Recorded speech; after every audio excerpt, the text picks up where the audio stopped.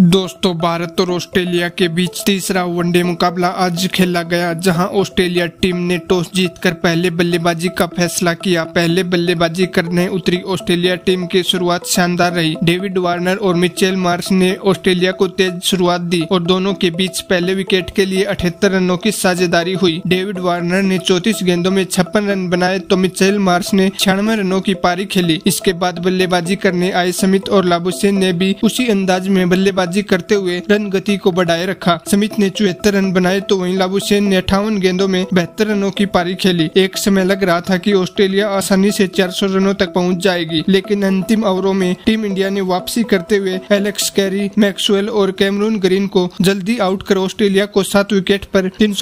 रनों पर रोक दिया टीम इंडिया की ओर से जसप्रीत बुमराह ने दस ओवर में इक्यासी रन देकर तीन विकेट लिए ऑस्ट्रेलिया के तीन